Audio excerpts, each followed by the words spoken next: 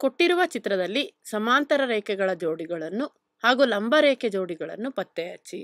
ಇಲ್ಲಿ ನಮಗೆ ಒಂದು ಚಿತ್ರವನ್ನ ನೀಡಿದರೆ ಇದರಲ್ಲಿ ಇರುವಂತಹ ಸಮಾಂತರ ರೇಖೆಗಳ ಜೋಡಿಗಳನ್ನು ಹಾಗೂ ಲಂಬ ರೇಖೆ ಜೋಡಿಗಳನ್ನ ನಾವು ಗುರುತಿಸಬೇಕಾಗಿದೆ. ಮೊದಲಿಗೆ ಸಮಾಂತರ ರೇಖೆಗಳ ಜೋಡಿಯನ್ನು ನೋಡೋಣ.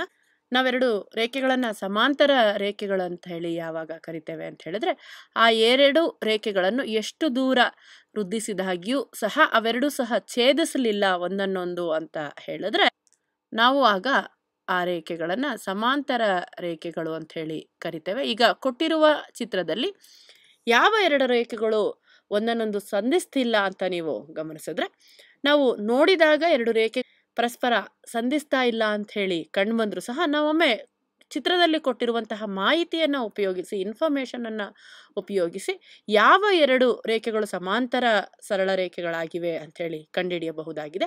ನೀವಿಲ್ಲಿ ಗಮನಿಸಿದ್ರೆ ಎಸ್ ಟಿ ರೇಖೆ ಮತ್ತು ಯು ವಿ ರೇಖೆ ಈ ಎರಡೂ ರೇಖೆಗಳು ಸಿ ಡಿ ರೇಖೆಯನ್ನ ಸಮ ಕೋನವನ್ನು ಉಂಟು ಮಾಡುವ ರೀತಿಯಲ್ಲಿ ಛೇದಿಸ್ತಾ ಇದ್ದಾವೆ.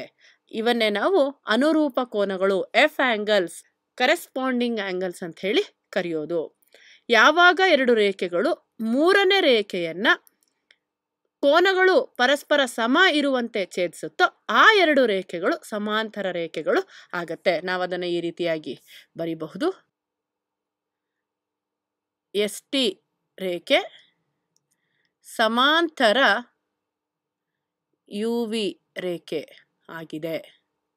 ಇನ್ನು ಯಾವುದೇ ರೇಖೆಗಳು ಸಮಾಂತರ ರೇಖೆಗಳಾಗಿ ನಮಗೆ ಕಾಣಿಸ್ತಾ ಇಲ್ಲ. ಕಾರಣ ಎ, ಬಿ ಮತ್ತು ಸಿ ಡಿಯನ್ನು ನೀವು ಗಮನಿಸಿದ್ರೆ, ಈ ಎರಡೂ ರೇಖೆಗಳನ್ನು ನೀವು ವೃದ್ಧಿಸಿದ್ರಿ ಅಂತ ಹೇಳಿದ್ರೆ, ಅವುಗಳ ನಡುವಿನ ಅಂತರ ಕಡಿಮೆ ಆಗ್ತಾ ಇದೆ, ಹಾಗೂ ಪರಸ್ಪರ ಛೇದಿಸ್ತಾ ಇದ್ದಾವೆ. ಹಾಗೆ ಯು, ವಿ ಮತ್ತು ಡಬ್ಲ್ಯೂ, ಎಕ್ಸ್ ಏನಿದೆ, ಈ ಎರಡು ರೇಖೆಗಳು ಸಹ ಎ, ಬಿ ಆಗಲಿ ಸಿ, ಎಕ್ಸ್ ಅನ್ನಾಗಲಿ ಸಮಕೋನಗಳು ಉಂಟಾಗುವ ರೀತಿಯಲ್ಲಿ ಛೇದಿಸ್ತಾ ಇಲ್ಲ.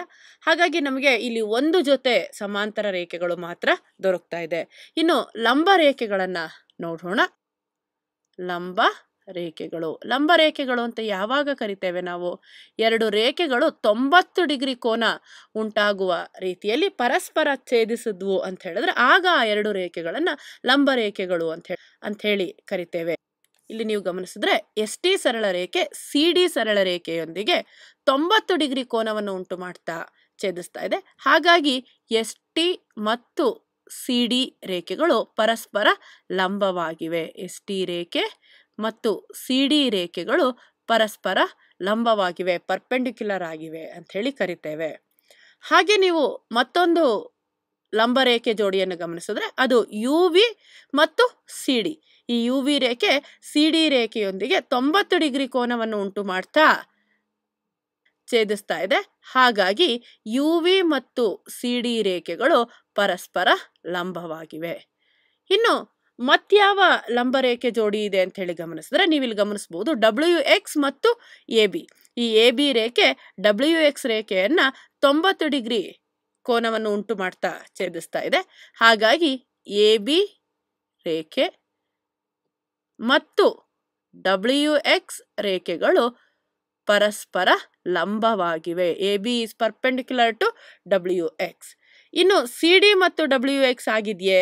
ನೀವು ಗಮನಿಸ್ಬೋದು, ಇಲ್ಲಿ ತೊಂಬತ್ತು ಡಿಗ್ರಿ ಕೋನ ಕಾಣಿಸ್ತಾ ಇಲ್ಲ. ಹಾಗಾಗಿ ಇನ್ಯಾವುದೇ ಲಂಬ ರೇಖೆ ಜೋಡಿಗಳು ನಮಗೆ ಕಾಣಿಸ್ತಾ ಇಲ್ಲ. ಹಾಗಾಗಿ ನಮಗೆ ಈ ಚಿತ್ರದಲ್ಲಿ ಕಂಡು ಬಂದಂತಹ ಸಮಾಂತರ ರೇಖೆಗಳ ಜೋಡಿ ಹಾಗೂ ಲಂಬ ರೇಖೆಗಳ ಜೋಡಿ ಈ ರೀತಿಯಾಗಿ ಇದೆ.